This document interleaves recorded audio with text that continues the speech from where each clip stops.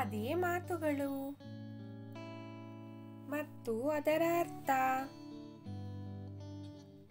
ಭಾಗ ಆರು. ಅರಸನಿಲ್ಲದ ರಾಜ್ಯ, ದೀಪವಿಲ್ಲದ ಮನೆ. ಈ ಅದೇ ಅರ್ಥ ತಿಳಿಯೋಣ. ರಾಜ್ಯಕ್ಕೆ ಅರಸನೇ ದಿಕ್ಕು, ನಾಯಕ. ನಾಯಕನಿಲ್ಲದಿದ್ದರೆ ನ್ಯಾಯ, ನೀತಿ, ನಿಯಮಗಳಿರುವುದಿಲ್ಲ. ಅಜಾರುಕತೆ ಇರುತ್ತದೆ.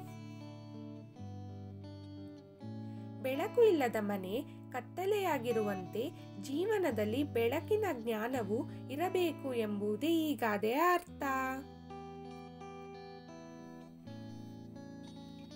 ಸಜ್ಜನರ ಸಂಘ ಹೆಜ್ಜೇನು ಸವಿದಂತೆ. ಈ ಗಾದೆಯ ಅರ್ಥ ತಿಳಿಯೋಣ.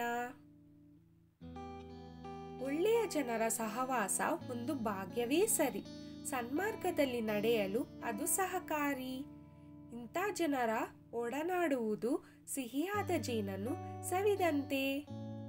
ಬಾಯಿಗೂ ಸಿಹಿ, ಆರೋಗ್ಯಕ್ಕೂ ಜೇನು ಉತ್ತಮ.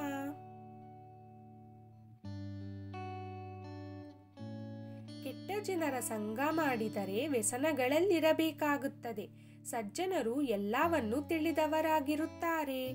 ಇವರು ಬಲ್ಲವರು. ಇಂಥ ಸಜ್ಜನರ ಒಡನಾಟ ಬೆಲ್ಲವನ್ನು ತಿಂದಂತೆ ಸಂತೋಷಿತರಾಗುತ್ತಾರೆ.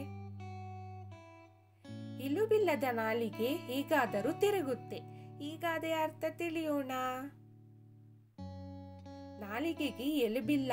ಅದು ಹೇಗೆ ಬೇಕಾದರೂ ಹಾಗೆ ಹೊರಳುತ್ತದೆ. ಕೆಲವರು ತಾವಾಡಿದ ಮಾತನ್ನು ತಾವು ಆಡಿಯೇ ಇಲ್ಲ ಎಂದು ಸಾಧಿಸುತ್ತಾರೆ. ಮಾತಿನ ಮೇಲೆ ನಿಗಾ ಇರದೆ ಬಾಯಿಗೆ ಬಂದಂತೆ ಮಾತನಾಡಬಾರದು ಎಂಬುದೇ ಈ ಗಾದೆಯ ಅರ್ಥ.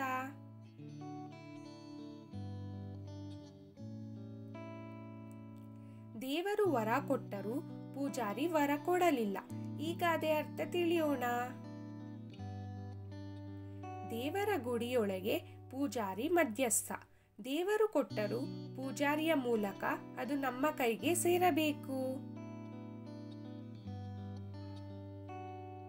ಹಾಗೆಯೇ ಸಾಮಾಜಿಕ ಜೀವನದಲ್ಲಿಯೂ ಹೀಗೆ. ಕೆಲವರಿಂದ ನಮ್ಮ ಕೆಲಸ ಆಗಬೇಕಾದರೆ ನಡುವೆ ಇರುವವರು ಅಡ್ಡಿಸುತ್ತಿರುತ್ತಾರೆ.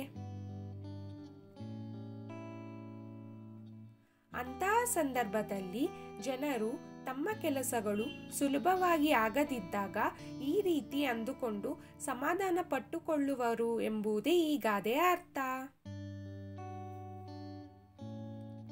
ಮಾಡಿದವರ ಪಾಪ ಆಡಿದವರ ಬಾಯಲ್ಲಿ. ಈಗ ಅದೇ ಅರ್ಥ ತಿಳಿಯೋಣ. ಪಾಪ ಮಾಡಿದವರು ಎಲ್ಲೋ ಇರುತ್ತಾರೆ. ಅವರಿವರ ಪಾಪ ಕೃತ್ಯ ಆಡಿಕೊಳ್ಳುವವರ ಬಾಯಲ್ಲಿ ಪ್ರಭಾವ ಬೀರುತ್ತದೆ. ಪಾಪಿಯ ಪಾಪವನ್ನು ಒತ್ತುಕೊಳ್ಳುವ ಅಗತ್ಯವಿಲ್ಲ. ಆಡಿಕೊಳ್ಳುವುದು ಒಳ್ಳೆಯದಲ್ಲ ಎಂಬುದೇ ಈ ಗಾದೆಯ ಅರ್ಥ. ಧನ್ಯವಾದಗಳು. ಮುಂದಿನ ಭಾಗದಲ್ಲಿ ಸಿಗೋಣ.